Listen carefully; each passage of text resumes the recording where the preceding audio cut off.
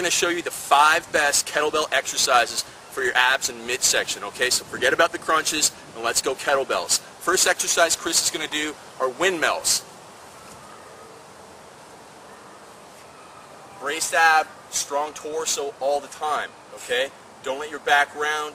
And again, we're doing exercises standing up because we're bracing our abs, working them just as hard as you could, possibly doing crunches on the ground. But you're going to get done faster. You're not going to have to train your abs for 30 minutes every day with this system. Alright, so after Chris does windmills, the second exercise we're going to show you, I'm going to do kettlebell swings, and Chris is going to tell you about them. Kettlebell swings are a very important exercise in that they work your abs the way they're meant to be worked, which is by stabilizing them.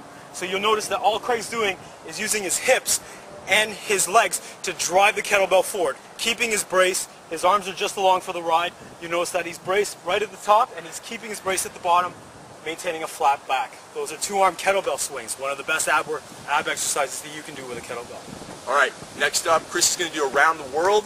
Can you use this one? Yeah. Alright, so he's going to use a round-the-world 53 pound kettlebell.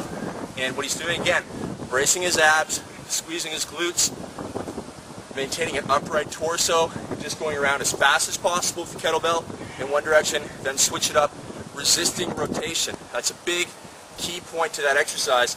Same thing I'm going to do in the next one, which are kettlebell renegade rows.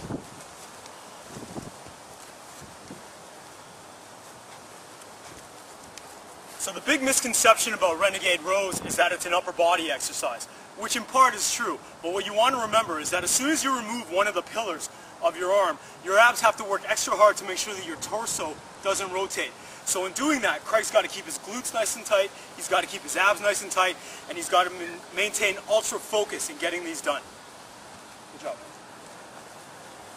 And you may have noticed there I had a pretty wide base of support with my feet because I haven't done those in a while and they literally are one of the hardest ab exercises you can do. The next one Chris is going to do is called a halo. And again, all comes back to resisting rotation, bracing the abs, and focusing on doing that type of movement rather than crunch, crunch, crunch. Okay, so forget about the crunches, get with the kettlebells, kick the crunches to the curb.